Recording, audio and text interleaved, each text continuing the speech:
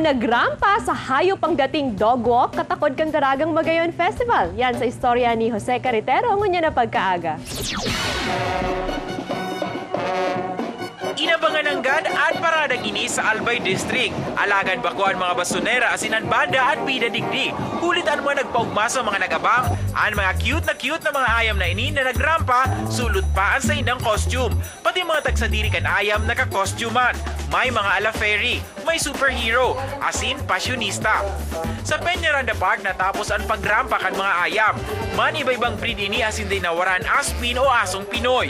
Si Dena anong na ayam manipig sabay sa parada. Ang mga pangaran ninda ipig ko apa sa epeko ni Daragang Magayon, sining kay panganuro na sin Daragang Magayon.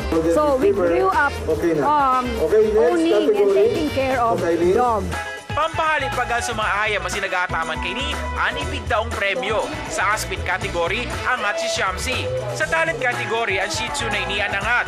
Mantang sa costume, gana na ayam na ini na naka-superhero costume.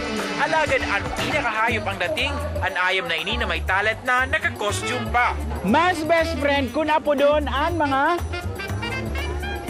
dog. Kaya naman, maging asong Pinoy manini o aspin, o kaya naman may lahi, kinakaipuan na ipahiling ang pagpadaba ni tunay na amigo. Sa tao kan kaugmahan ang patanid kan Albay Provincial Veterinary Office sa mga may sandiri ni Nayam na maging responsable. Kaya ipig sabay naman sa aktibidad ang paglunsar kan Zero Rabies Albay. Sa laong minuang bulan, magkakaiguanin maiwas ang pagbabakuna sa mga ayam sa probinsya. Eh, gusto nating ma-project at uh, may pakita sa mga tao yung responsible pet ownership and at the same time awareness. Kasi nga, uh, ngayong araw din na to, ilalunch natin yung province-wide Zero Rabies Albay.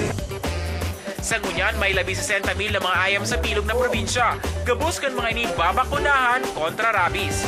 Ako si Jose Carretero, Marhay na Kapamilya.